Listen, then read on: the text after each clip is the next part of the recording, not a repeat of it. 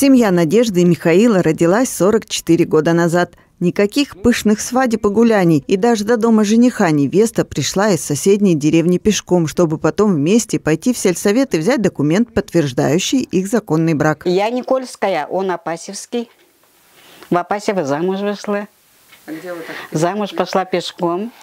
Километр. Одноклассники. Да, вместе учились. Свадьбы не было. Был маленький вечерок. Света не было тогда вообще. Э, э, Местная молодежь там аккумулятор принесли. С аккумулятором э, это свет сделали, лампочку включили, музыку включили. Без, не без пожилых, там родители только и молодежь отпраздновали, посидели. Мы, как у него даже родители не знали, что мы расписались. Мы сходили в сельский совет, расписались, стали уезжать. Стали уезжать. Э, Потом э, свекровка сказала, э, это, пусть сюда придет, приведи.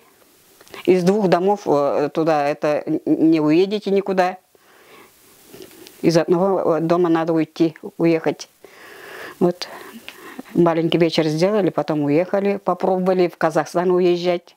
Обратно приехали, не понравилось. Так и остались в родном районе жить до добра наживать. Михаил Дмитриевич после окончания курсов механизаторов устроился в колхоз «Заря». Так и отработал там больше 40 лет до выхода на пенсию и получил награду «Заслуженный работник сельского хозяйства Республики Башкортостан». Надежда Витальевна тоже не сидела без дела. После школы сразу э, уехала э, по вербовке на фабрику. Прядильную фабрику. Там была профессия ле- ленточница. Мы же не понимали, что такое прядильная фабрика. Мы даже это сроду не видели. Мы думали, бабушка сказала, ленточница.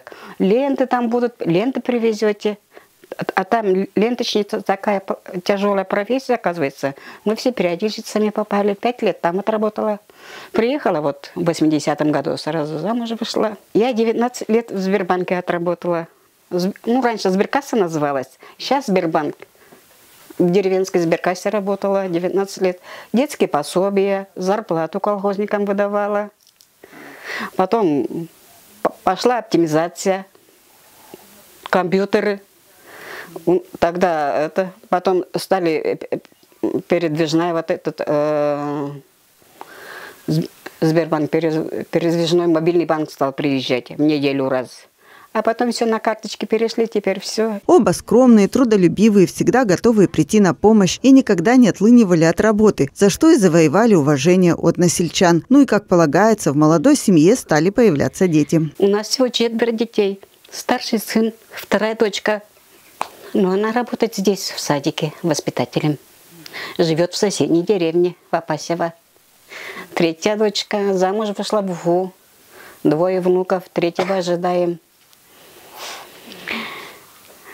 Четвертая дочка в Березовке. Так и жили, как говорит сама Надежда Витальевна, как все. Ничего необычного. Растили детей, вели хозяйство. Все вместе пережили сложные времена, но смогли обеспечить всем детям высшее образование и с достойным багажом отпустили в самостоятельную жизнь. Они своим примером, своим трудом а, значит, показывают, как правильно воспитывать детей. Значит, а, у них четверо детей, которые уже живут своими семьями разных уголках, так скажем, нашего района, нашей республики.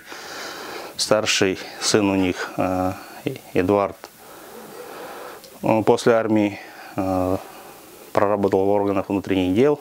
Сейчас находится в зоне специальной военной операции по мобилизации. Он живет в деревне Кариева нашего района, воспитывает двоих детей.